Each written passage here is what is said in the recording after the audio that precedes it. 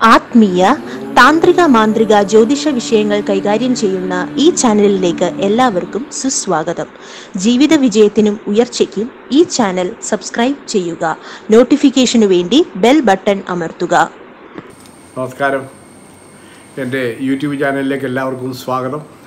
ഇന്ന് നമ്മൾ രോഹിണി നക്ഷത്രത്തിന്റെ പൊതു സ്വഭാവങ്ങൾ അതുപോലെ തന്നെ എന്റെ ദശാകാലങ്ങളിലെ ഫലങ്ങൾ അതുപോലെ അവർക്ക് അനുകൂലമായ തൊഴിലുകൾ വിവാഹത്തിന് അനുകൂലമായ നാളുകൾ ദോഷപരിഹാരമായിട്ട് ചെയ്യാവുന്ന കർമ്മങ്ങൾ ഇങ്ങനെയുള്ള മൊത്തം വിഷയങ്ങളും നമ്മൾ ഇതിൽ കൂടെ കൈകാര്യം ചെയ്യാണ് ഈ ഒറ്റാൽ പോലെ താരാപഥത്തിൽ കാണപ്പെടുന്ന നാൽപ്പത്തിരണ്ട് നക്ഷത്രങ്ങളുടെ ഒരു സമൂഹമാണ് ഇടവൻ രാശി സ്ഥിതി ചെയ്യുന്ന രോഹിണി നക്ഷത്രം. ആരോഗ്യം കർമ്മകുശലത കണ്ണുകൾക്കൊരു പ്രത്യേക വശ്യത ബുദ്ധി മാന്യത പ്രിയ ഭാഷണം സത്യസന്ധത സൗന്ദര്യം മറ്റുള്ളവരോടുള്ള ഹൃദ്യമായ പെരുമാറ്റം പെട്ടെന്ന് പിണങ്ങുന്ന സ്വഭാവം യാതൊരു കണക്കൂട്ടലുകളും ഇല്ലാതെയുള്ള ചിലവഴിക്കൽ അന്യരുടെ ന്യൂനതകളും വീഴ്ചകളും ഒറ്റ നോട്ടത്തിൽ കണ്ടെത്താനുള്ള സാമർഥ്യം ദുഃഖങ്ങൾ മറ്റുള്ളവരുമായി പങ്കുവെക്കാതെ സ്വയം കടിച്ചമർത്താനുള്ള കഴിവ്.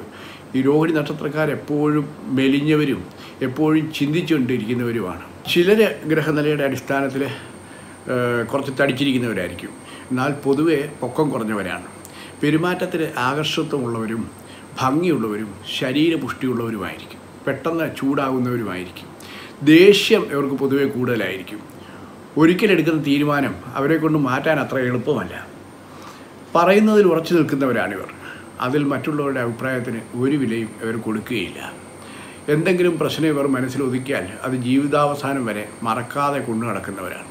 മറ്റുള്ളവരുടെ കുറ്റം കണ്ടുപിടിക്കാൻ കേമരാണിവർ മറ്റുള്ളവരോട് പകയും വിദ്വേഷവും കൊണ്ട് പ്രശ്നം സൃഷ്ടിക്കാറുമില്ല. ഇവരുടെ പ്രവർത്തികൾ മറ്റുള്ളവരെ ആകർഷിക്കും. തെറ്റ് ഏറ്റു പറയുന്നത് ഇവരുടെ ഏറ്റവും നല്ലൊരു സ്വഭാവമാണ്. ഈ മുൻകൂട്ടി തീരുമാനമെടുത്ത് ഒന്നിലും ഇറങ്ങിത്തിരിക്കത്തില്ല. അതിനാൽ കരകയറ്റവും ഇറക്കവും ഇവരെ ഒരുപോലെ ശല്യം ചെയ്യും. നാളെ എന്തെന്ന് ചിന്തിക്കാറില്ല. ഇന്നെങ്ങനെ ചെയ്യ എന്നതായിരിക്കും അവരുടെ പ്രധാനപ്പെട്ട ചിന്ത. ഈ തൊഴിൽ ബിസിനസ് സാമൂഹ്യ ജീവിതം എന്നിങ്ങനെ എവിടെയും ഇവർ ശോഭിക്കും. ആ, സുഖലോലുവരാണ് സ്വയം തീരുമാനമെടുക്കാൻ കഴിവില്ലാത്തവരാണ്. സ്നേഹിക്കും പോലെ തന്നെ വെറുത്താൽ അങ്ങേയറ്റം ദ്രോഹിക്കുന്ന ആൾക്കാരാണ്. സത്യസന്ധരും ശുദ്ധരുമായിരിക്കുന്ന ആൾക്കാരാണ്. പ്രവൃത്തിയിൽ അതിര് കടന്ന സ്വാതന്ത്ര്യം കാണിക്കുന്നവരാണ്. വരവിനെക്കുറിച്ച് ചിന്തിക്കാതെ ആഡംബരത്തിന് ധാരാളം പണം ചെലവഴിക്കുന്നവരാണ്. സ്ത്രീകളോട് അടുത്ത് ഇടപഴകാനുള്ള സാമർഥ്യം ഇവർക്ക് വളരെ കൂടുതലാണ്. ആരും ആരോടും അങ്ങോട്ട് കയറി പരിചയപ്പെടുന്ന സ്വഭാവമില്ല. അടുത്ത് ഇടപഴകുന്നവരോട് സ്നേഹത്തോടും അന്തസ്സായും പെരുമാറുന്നവരാണ്. ഇവർ ക്ഷോഭിച്ചു പോയാൽ പക വീട്ടിയിട്ടേ പിന്നെ അടങ്ങത്തുള്ളൂ. അതുപോലെ തന്നെ ബുദ്ധിജീവികളുമാണ്. ഈശ്വരാനുകൂല്യം പെട്ടെന്ന് വന്നു ചേരും.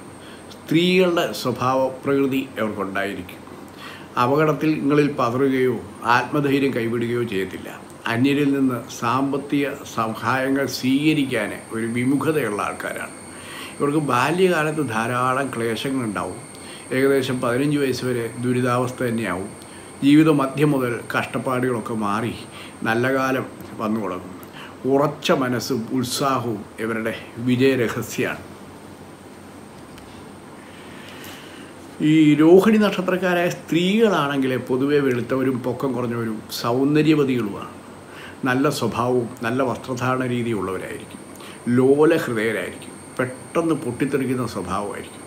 ഈ പ്രശ്നങ്ങൾ വീട്ടിലുണ്ടാക്കുന്നവരുമാണ് പ്രവൃത്തിയിൽ വളരെ അടുക്കും ചിട്ടയൊക്കെ ഉള്ളവരും രഹസ്യങ്ങൾ സൂക്ഷിക്കുന്നവരുമൊക്കെയാണ് ഈ പ്രേ മറ്റ് ഈ പ്രേരണകൾക്ക് വശംവതരായിട്ട് വഴക്കുണ്ടാക്കുന്ന സ്വഭാവം ഇവർക്കുണ്ടാവും.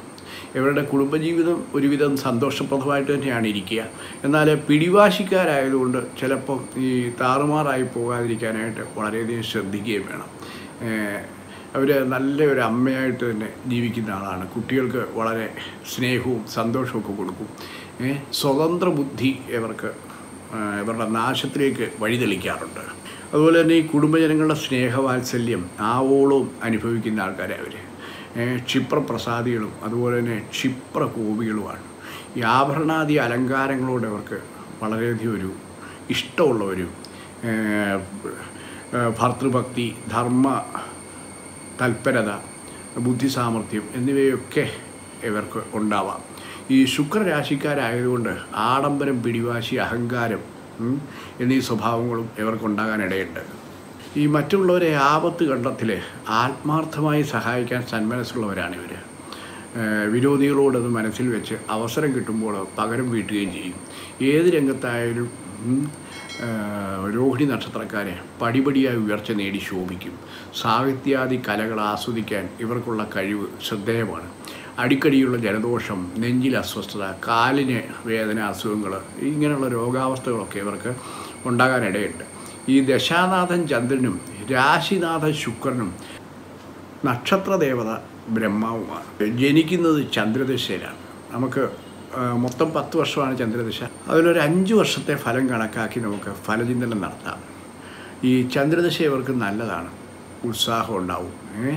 നല്ല ആരോഗ്യസ്ഥിതി ഉണ്ടാവും. അത് ബാല്യകാലമായതുകൊണ്ട് ആദ്യത്തെ ഈ അഞ്ച് വർഷം അത് കുഞ്ഞുങ്ങൾക്കും അതുപോലെ തന്നെ മാതാപിതാക്കൾക്കും വളരെയധികം ഗുണം ലഭിക്കുന്ന കാലമാണ്. അവർക്ക് ഈ മാതാപിതാക്കൾക്ക് തൊഴിൽ അഭൂർത്തി വ്യതിജനങ്ങളുടെ സ്നേഹം ഉയർച്ച കുടുംബൈക്യം ഗ്രഹവാഹന ലാഭങ്ങൾ തുടങ്ങിയ എല്ലാ ഗുണങ്ങളും ഉണ്ടാകുന്ന കാലമാണ്. പിന്നീടുള്ള പന്ത്രണ്ട് വയസ്സ് വരെ ചൊവ്വയുടെ ദശാകാല. അത് ദോഷകരമായിട്ടുള്ളൊരു കാലമാണ്.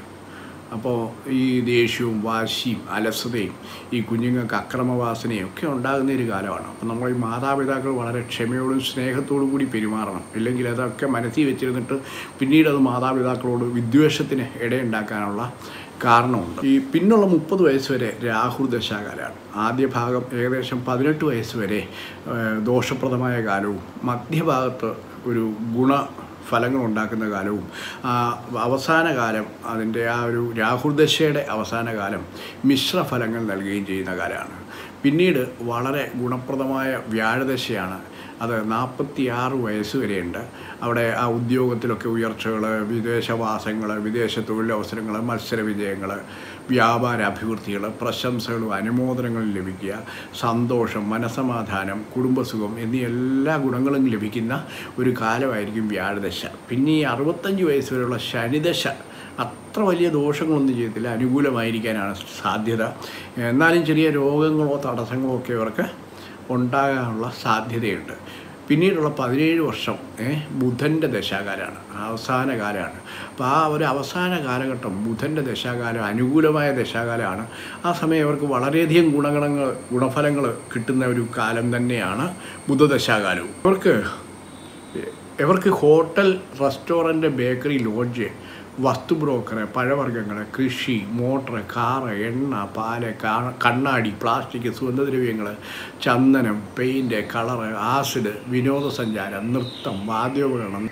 അതുപോലെ നക്ഷത്രദേവത ബ്രഹ്മാവായതുകൊണ്ട് ശു ശുഭമേഖലകളായിട്ടുള്ള അധ്യാപനം ഗ്രന്ഥരചന നിർമ്മാണ പ്രവർത്തനങ്ങൾ ആധാരമെഴുത്ത് അക്കൗണ്ടിങ് പരിഭാഷ ഖാദി കയർ മേഖല മൃഗം പാമ്പായതുകൊണ്ട് ഭൂഗർഭ പ്രവർത്തനങ്ങൾ പാറമട കീടനാശിനി ഈ കീടനാശിനിയുടെ നിർമ്മാണം രാജ്യരക്ഷ തടി തുകൽ?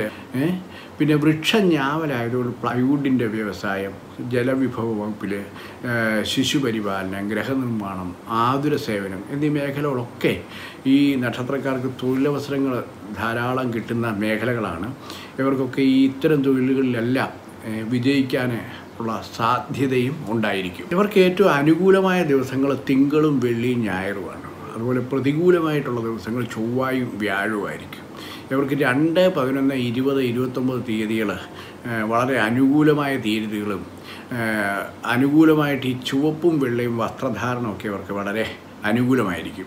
അതുപോലെ തന്നെ കറുപ്പ് സ്വർണവർണങ്ങളിലുള്ള വസ്ത്രങ്ങളൊന്നും ഇവർക്ക് ഒട്ടി യോജിക്കുന്ന നിറങ്ങളല്ല. അതുപോലെ രത്നം ധരിക്കണം എന്ന് ആഗ്രഹിക്കുന്നവർക്ക് മുത്ത് ഏറ്റവും അനുകൂലമായ രത്നമായിരിക്കും. അതുപോലെ ഈ സ്ത്രീകൾക്ക് വിവാഹത്തിന് തിരഞ്ഞെടുക്കാൻ അനുയോജ്യമായിട്ടുള്ള നാളുകൾ അശ്വതി ഭരണി കാർത്തിക മകൈരം പുണർതം ആയില്യം ഉത്ര അത്തം വിശാഖം അത് വൃശ്ചികക്കൂറിലുള്ളതാണ് അനിഴം തൃക്കേട്ട തിരുവോണം അവിട്ടം ചതയം കുത്തിട്ടാതി എന്നീ നാളുകളൊക്കെ ഇവർക്ക് അനുകൂലമായിട്ടുള്ള നാളുകളാണ്. അതുപോലെ പുരുഷനാണെന്നുണ്ടെങ്കിൽ അശ്വതി കാർത്തിക അത് ഇടവക്കൂറിലുള്ള കാർത്തിക മകയിരം പുണർദം പൂരം ഉത്ര അത്തം ചിത്തിര വിശാഖം അനിഴം തിരുവോണം ഉത്തിട്ടാതി ഈ നാളുകളൊക്കെ ഇവർക്ക് വിവാഹത്തിന് തിരഞ്ഞെടുക്കാം. ഇവർക്ക് തിരുവാതിരയും പൂയവും മകവും മൂലം പൂരാടം ഭരണി രേവതി പൂരിട്ടാതി ചോതി ഈ നാളുകളൊന്നും ഇവർക്ക് അനുകൂലമായ നാളുകളല്ല. അത് യാതൊരു വിധമായിട്ടുള്ള ബിസിനസ്സുകളിലോ ഒന്നും കൂട്ടുകച്ചവടത്തിലോ ഒന്നും ഉപയോഗിക്കാൻ പാടുള്ളതല്ല.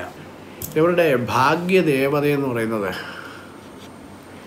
ഇവരുടെ ഭാഗ്യദേവത എന്ന് പറയുന്നത് ശ്രീകൃഷ്ണനാണ്. അതുപോലെ പ്രതികൂലമായിട്ടുള്ള രത്നം ഇവർക്ക് ഉപയോഗിക്കാൻ പാടില്ലാത്ത രത്നമാണ് ഗോമേതകം ഇവർക്ക് ഈ വിഷ്ണു ക്ഷേത്രത്തിലും ശാസ്താക്ഷേത്രത്തിലും ദേവീ ക്ഷേത്രത്തിലും ദർശനം നടത്തി പ്രാർത്ഥിക്കുന്നതും തിങ്കളാഴ്ച വ്രതം അനുഷ്ഠിക്കുന്നതും രാഹു ശനി ദശാകാലങ്ങളിൽ ശിവക്ഷേത്ര ഭജനങ്ങളും മൃത്യുജ ഹോമം അഹോര ഹോമം എന്നീ ശിവപരമായിട്ടുള്ള ഹോമങ്ങൾ നടത്തുന്നതും ബുധ വ്യാഴ ദശാകാലങ്ങളിൽ വിഷ്ണുക്ഷേത്ര ദർശനങ്ങൾ നടത്തുന്നതും വഴിപാടുകൾ കഴിക്കുന്നതും അതുപോലെ വിഷ്ണു പൂജ രാജഗോപാല പൂജ സുദർശന ഹോമം എന്നിവ കഴിപ്പിക്കുന്നതൊക്കെ നല്ലതാണ്. പിന്നെ ഈ ചൊവ്വാദശയിലാണെന്നുണ്ടെങ്കിൽ ഭഗവതി സേവയൊക്കെ കഴിപ്പിക്കുന്നതും ദേവീക്ഷേത്ര സംബന്ധമായിട്ടുള്ള വഴിപാടുകൾ കഴിപ്പിക്കുന്നതൊക്കെ കൊണ്ട് അവരുടെ ഗുണഫലങ്ങൾ കൂടുവാനുള്ള സാധ്യതയുണ്ടാവും.